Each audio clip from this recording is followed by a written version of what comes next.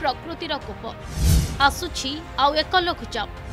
ଅଡ଼ଚାଳିଶ ଘଣ୍ଟାରେ ଲଘୁଚାପର ରୂପ ନେବ ଘୂର୍ଣ୍ଣିବଳୟ। ଚାରିରୁ ପାଞ୍ଚ ଦିନ ଭିତରେ ସ୍ପଷ୍ଟ ହେବ ଚିତ୍ର।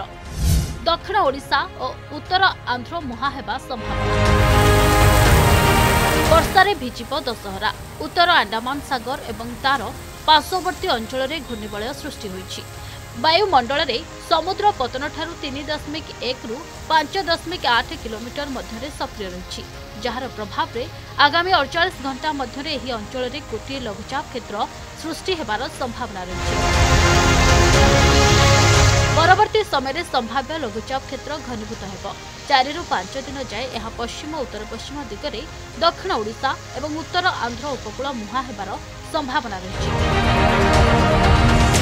नॉर्थ अंदामान सी में साइक्लोनिक सर्कुलेशन है मिड ट्रोपोस्फेरिक लेवल तक 5.8 तक। इसका प्रभाव में अगला 48 घंटा में लो प्रेशर होने का चांसेस है, और ये लो प्रेशर और भी मोर मार्क होने का भी चांसेस है, और इसका मूवमेंट वेस्ट नॉर्थ वेस्ट होकर के सब्सिक्वेंट फोर फाइव डेज़ में नॉर्थ आंध्र साउथ ओडिशा का कोस्ट का पास में आने का चांसेस है।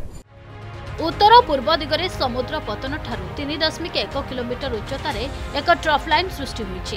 ଏହି ଟ୍ରଫ୍ ଲାଇନ୍ ପ୍ରଭାବରେ ଆସନ୍ତା ଅଡ଼ଚାଳିଶ ଘଣ୍ଟା ପର୍ଯ୍ୟନ୍ତ ରାଜ୍ୟର ବହୁ ଜିଲ୍ଲାରେ ବର୍ଷା ସହ ବିଜୁଳି ଘଡ଼ଘଡ଼ିର ସମ୍ଭାବନା ରହିଛି।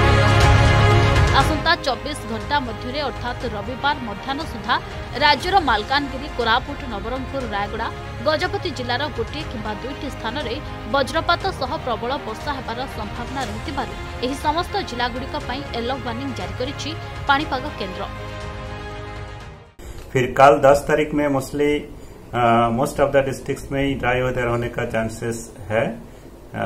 Coastal Orissa Kandhamal Rayagada, Nabarangpur, Koraput, Malkangiri east east अंदर में, एक दो जगह में हल्का से मध्यम बारिश हो सकता है। फिर इलेवेंथ को mainly south coastal Orissa, Rayagada, Malkangiri Koraput district के अंदर में एक दो जगह में हल्का से मध्यम बारिश का चांसेस है। बाकी मोस्टली ड्राई वेदर रहने का चांसेस है।